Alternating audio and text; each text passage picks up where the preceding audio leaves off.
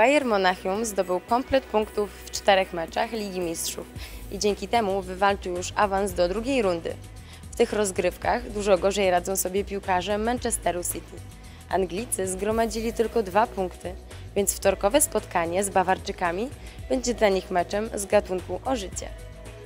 Jeśli uważasz, że gospodarze wytrzymają presję i pokonają Niemców, postaw na nich kasę. Za każdą złotówkę możesz wygrać około 3 zł i 20 groszy. Z kolei za triumf drużyny Roberta Lewandowskiego Kaman płaci 2,1 do 1.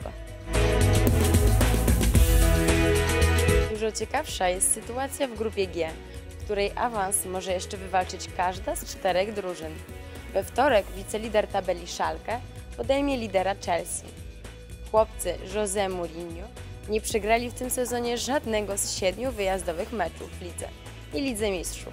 Dlatego są faworytem meczu w Niemczech. Szanse na ich wygraną ocenia się na około 1,7 do 1. Trzeba jednak pamiętać, że Szalkę dobrze radzi sobie w domu.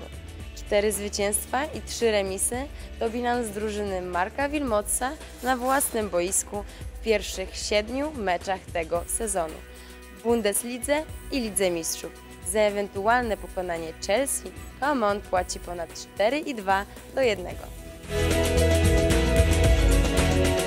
Pamiętajcie, że spotykam się tu z Wami dzięki jednej sprawie. Klubowi weszło.